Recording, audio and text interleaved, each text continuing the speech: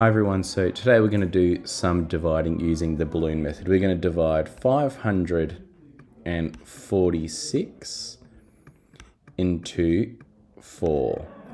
So we draw a little balloon and then the ribbon that comes down. We put our divisor in the balloon, which is 4, and then 546 going down the left side of the string. And we start our regular division sense.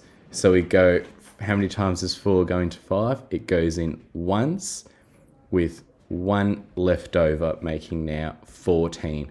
So how many times does 4 go into 14?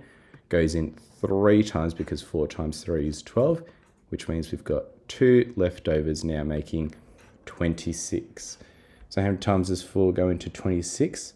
That goes in 6 times, because 6 times 4 is 24 and we have two remainders.